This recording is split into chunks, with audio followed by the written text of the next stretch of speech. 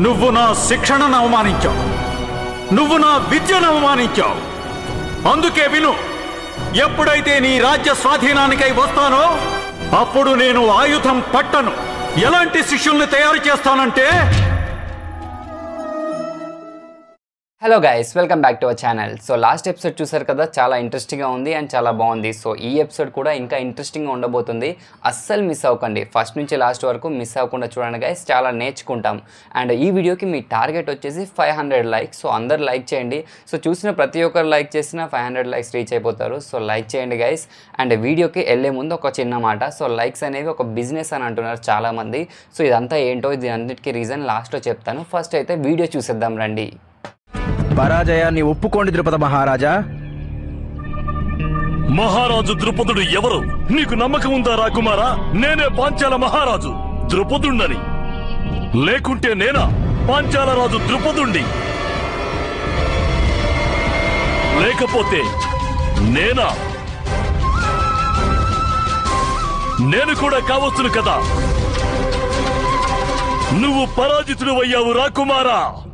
ఆ! ఆ!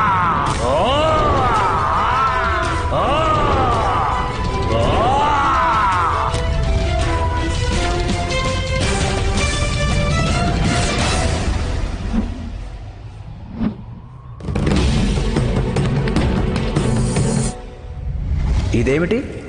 మా అన్న కృష్ణుడు అన్నాడు దీన్ని కనుక మీ వద్దనే ఉంచుకుంటే ఎప్పుడో పనికొస్తుందట. ఈ రాళ్ళను కృష్ణుడు నాకు ఈ క్షణం కొరకే పంపి ఉంటాడా? ఈ ఐదు రాళ్ళకు తాత్పర్యం ఈ ఐదుగురు ద్రుపదుల? కేవలం ఒక్క రాయి మీదే కళ్ళు సరిగ్గా మధ్యలో ఉన్నాయి ఈ ద్రుపదునికి ఉన్నట్లు అంటే ఇతడే ద్రుపద మహారాజు.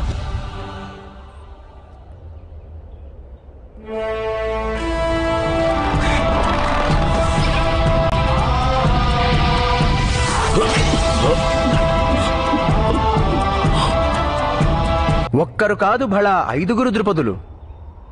తమరి పంచరత్న వ్యూహమైతే అద్భుతం మహారాజా. కానీ మీ బహురూపులతో ఒకటి చెప్పి ఉండవలసింది. తమరి ఆదేశం కోసం మాటిమాటికి తమకేసి చూడవద్దు అని. అప్పుడు తాము సఫలులయ్యేవారు.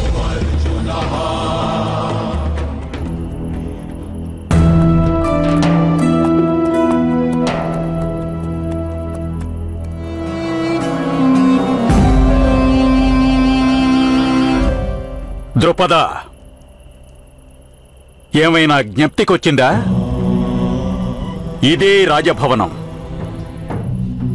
నేను ఇక్కడే నిలబడ్డాను. ఇదే స్థానంలో. ఇక నువ్వు అక్కడ కూర్చున్నావు నీ సింహాసనం మీద. మహారాజులకు జయం. ఎవరో బ్రాహ్మణుడు మహారాజు గారిని కలవాలని వచ్చారు. తమరు మిత్రులట? మా మిత్రుడా. నేను మిత్రమా? మిత్రమా ద్రుపద? గురుకులంలో ఉన్నప్పటి నీ నేస్తాన్ని ద్రోణుణ్ణి.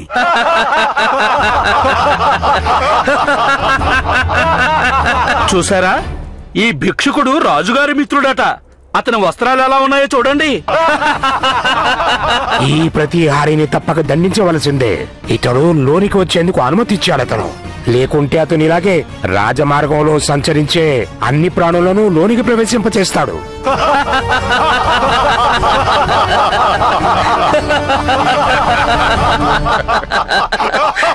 మైత్రి యొక్క సంబంధం. వస్త్రాలతో ఉండదు సభాసదులారా. జ్ఞాపకాల్లో నిలిచి ఉంటుంది. ఇక నా మిత్రుడు ద్రుపదునికి ప్రతి ఒక్క క్షణమూ గుర్తుంటుంది. గురువు భరద్వాజుల గురుకులంలో ఇద్దరం ఒకేసారి విద్య నేర్చుకున్నాం. ఏమిటి నీ ప్రేలాపన బ్రాహ్మణుడా? ఏ మైత్రి గురించి మాట్లాడుతున్నావు? మిత్రమా అసలు ఏమిటా ప్రశ్న? నేను ద్రోణుణ్ణి గురువు భరద్వాజుల పుత్రుడైన ద్రోణుణ్ణి నువ్వు నా వద్ద శస్త్రాల తొడుగుల్ని విప్పడం నేర్చుకున్నావు. నీకు జ్ఞాపకం లేదా? సర్వ జ్ఞాపకమున్నాయి తెలుసు. నువ్వు మా యొక్క సహపాఠివి గురుకులంలో. కానీ నువ్వంటున్న మైత్రి గురించి నాకు జ్ఞాపకం లేదు. మైత్రి గురించి జ్ఞప్తి లేదా? కానీ మిత్రమా మైత్రి కోసం నువ్వే నా వద్దకు వచ్చావు. ఆ రాత్రి గుర్తులేదా నీకు? మనం పశువుల్ని కాయడానికి వెళ్ళాం. నేను నా బాణంతో సింహాన్ని చంపి నీ ప్రాణాలు కాపాడాను. ఆ రాత్రిని కూడా మర్చిపోయావా నువ్వు? స్ఫురణ చేసుకో ద్రుపద. ఓ దినాన్ని స్ఫురణకు తెచ్చుకో. ఏం సమాధానం ఇచ్చావు నువ్వు? నువ్వు పొగరుతో గర్వంతో కన్ను మిన్ను గానక నన్ను అవమానించావు. అది నిండు సభలో.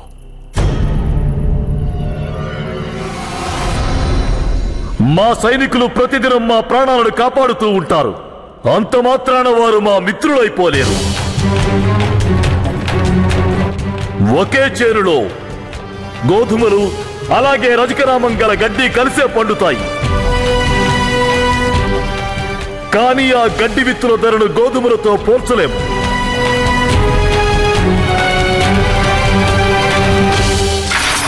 నువ్వు జీవిత పర్యంతం నాతో మైత్రి నెరపుతానని మాటిచ్చావు. మన ఇద్దరి సంపదలపై మన ఇద్దరికి పరస్పరం హక్కుంటుందన్నావు. మన ఇద్దరి ప్రాణాలపై కూడా పరస్పరం హక్కుంటుందన్నావు. మనం ఏం సంపాదించినా సగం సగం పంచుకుందామన్నావు. కానీ నువ్వు అవన్నీ మరిచావా ద్రుపదా? నేనేమైనా అర్ధరాజ్యం ఇవ్వమని అడగడానికి వచ్చాననుకున్నావా? నాకు కేవలం కేవలం రెండు గోవుల అవసరం ఉంది అంతే.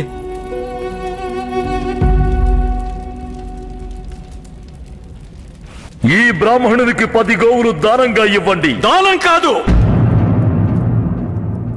భరద్వాజుల పుత్రుడు దానం తీసుకోడు ద్రుపదా హక్కు రూపంలో ఒక్క గోవు నీవు నీ యొక్క ప్రేమ సమస్త విశ్వంలో మైత్రికి ఉదాహరణ అవుతుంది. భిక్ష గనుక ఆశిస్తే తీసుకుని వెళ్ళు. రెండు గ్రామాలను వ్రాసి ఇచ్చేస్తాను. స్వర్ణపత్రం పైన. అదే హక్కును గురించి మాట్లాడితే నీకు లభించేది మృత్యుదండన. మా రాజ్యసభలో మమ్మ అవమానించిన అపరాధం పైన. అవమానమా? ద్రుపద? నేడు నా మైత్రి నీకు అవమానకరమనిపిస్తోందా? పరీక్షా దినాలలో మా పర్ణకుటీరం వెలుపల కూర్చునేవాళ్ళం నా వద్ద శిక్షణ పొందడం కోసం నా వద్ద విద్యను పొందడం కోసం. అప్పుడు నా మైత్రి నీకు అవమానంగా అనిపించలేదా? మౌనంగా ఉండు బ్రాహ్మణుడా. గురుకులంలో ఎవరైనా విద్యార్థి ఏదో సహాయం పొందినందువలన జన్మ జన్మంతరాల వరకు మైత్రి స్థాపించబడదు. అంతగా ఏం నేర్పావు నువ్వు? ఎందుకంటే నేర్చుకున్నది నేను. పురుషుతుడి పుత్రుణ్ణి ద్రుపదుణ్ణి. నా బుద్ధియే కదా శిక్షాగ్రహణం చేసింది. అందులో నీ మహిమ ఏమీ లేదు. నీ ప్రాణాలు నిలవాలని కోరుకుంటే వెళ్ళిక్కడి నుంచి. ద్రుపద! మైత్రిలో ఇచ్చిన మాట తప్పడం హత్య కంటే భయంకరమైన అపరాధం. సాక్షాత్తు సూర్య భగవానుడి మరో పేరే మిత్రుడు. ఎందుకంటే ఆయన పొడమిని ప్రకాశింపజేస్తాడన్న మాటను ఎప్పటికీ తప్పడు. నేడు. నేడు. నేడు ఈ సింహాసనం వల్ల నీకింత పొగరు తృపద? ప్రతిజ్ఞ చేస్తున్నాను. నిన్నీ సింహాసనం నుండి తప్పిస్తాను. నువ్వు నా శిక్షణను అవమానించావు. నువ్వు నా విద్యను అవమానించావు. అందుకే విను ఎప్పుడైతే నీ రాజ్య స్వాధీనానికై వస్తానో అప్పుడు నేను ఆయుధం పట్టను. ఎలాంటి శిష్యుల్ని తయారు చేస్తానంటే వారే నీ మస్తకాన్ని నా చరణాల ముందు వంచుతారు. నేడు నేను నా ప్రతిజ్ఞను నెరవేర్చుకున్నాను ద్రుపద. అర్జున ద్రుపదుని బంధనాలు తొలగించు. ద్రుపదుడే స్వయంగా అశ్వత్థామను సింహాసనంపై కూర్చోబెడతాడు. స్వయంగా ద్రుపదుడే ఈ ద్రుపదుడే అశ్వత్థామకు క్షీరాభిషేకం చేస్తాడు.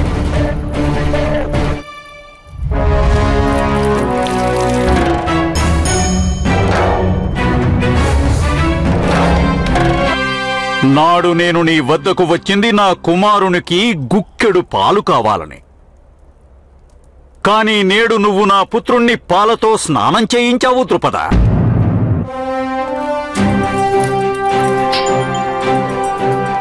యుధిష్ఠిరా నువ్వు నీ సోదరులు మహాద్భుత కార్యం చేశారు. నా వివాదం వల్ల రుజువైందేమిటంటే కురుకుమారుల్లో మీరే సర్వశ్రేష్ఠులని. అర్జున ఆచంద్ర తారార్కం నీ శౌర్యం వల్ల నువ్వు అమరుడవవుతావు ఇక మీరంతా హస్తినాపురం వెళ్ళిపోవచ్చు. ఇక నా పుత్రుడు అశ్వత్థామ పరిపాలనా బాధ్యతలు నిర్వహించగలిగేంత వరకు నేను ఇక్కడే ఉంటాను పుత్ర. నేనే స్థితిలో ఉండేవాణ్ణో. ఆ స్థితిలో నిన్ను ఎప్పటికీ ఉండనివ్వను. నేను గెలుచుకున్న రాజ్యంలోని అర్ధభాగాన్ని నీకు తిరిగి ఇస్తున్నాను. కాంపిల్య నగరం వెళ్ళి సగం పాంచాల రాజ్యాన్ని సుఖంగా పాలించుకో. ఎలాగూ నీకు పుత్రుల్లేరు కదా. నా పుత్రుడు అశ్వత్థామను నీ పుత్రునిగా భావించి అతనికి రాజ్యపాలనలో సహాయం చేయి మిత్రమా. జరిగిందంతా మరచిపో. పూర్వ మైత్రిని మనం కొనసాగించలేమా?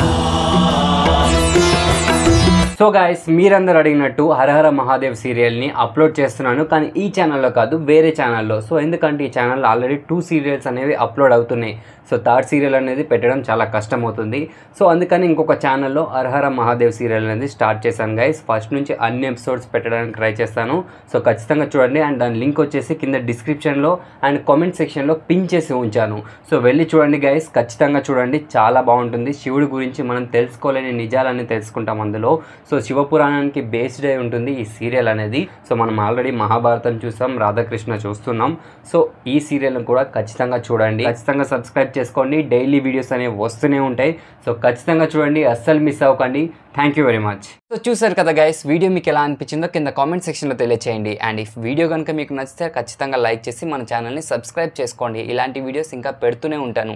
సో చాలామంది ఏమంటున్నారంటే రియాక్ట్ అవ్వకండి. సో మీరు రియాక్ట్ అవుతే మాకు డిస్టర్బెన్స్ అవుతుంది అని. సో అది కూడా కరెక్టే గైస్ సో అందుకని నేను రియాక్ట్ అవ్వట్లేదు. అండ్ కాపీరైట్ క్లెయిమ్స్ ఇవన్నీ వస్తూనే ఉన్నాయి. సో అవన్నీ నేను అవాయిడ్ చేస్తూ సో మళ్ళీ ఎడిట్ చేసి మళ్ళీ అప్లోడ్ చేస్తున్నాను.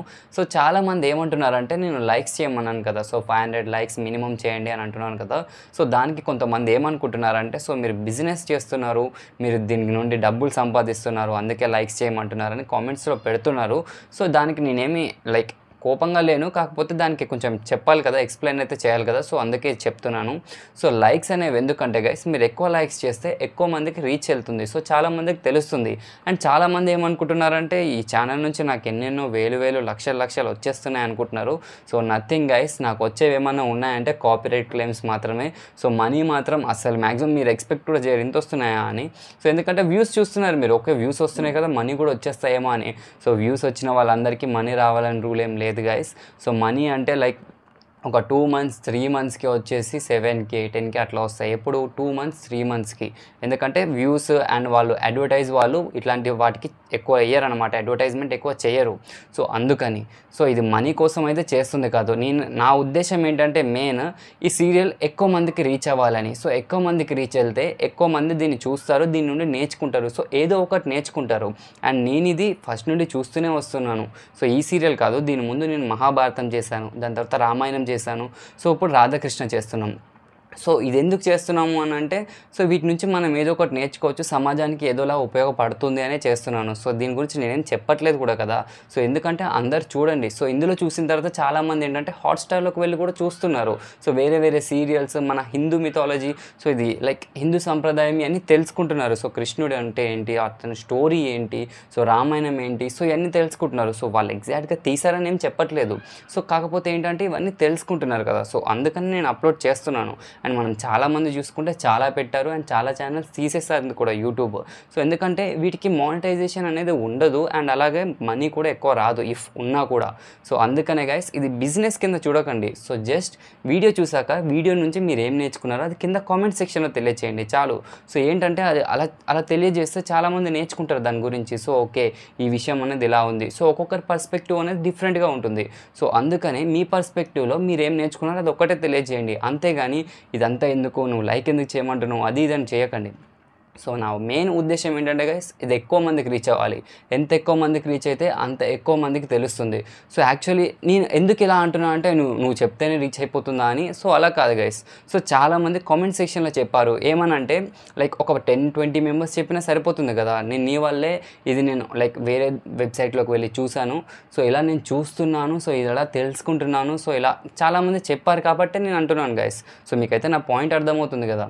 సో ఏంటంటే ఇది చూసి కొంత కొంతమంది లైక్ రియల్గా హాట్స్టార్లో చూస్తున్నారు అండ్ కొంతమంది పెద్ద స్క్రీన్ కావాలంటున్నారు సో పెద్ద స్క్రీన్ వల్ల అయితే యూజ్ ఉండదు గైస్ సో పెద్ద స్క్రీన్ పెడితే ఛానల్ తీసేస్తారు.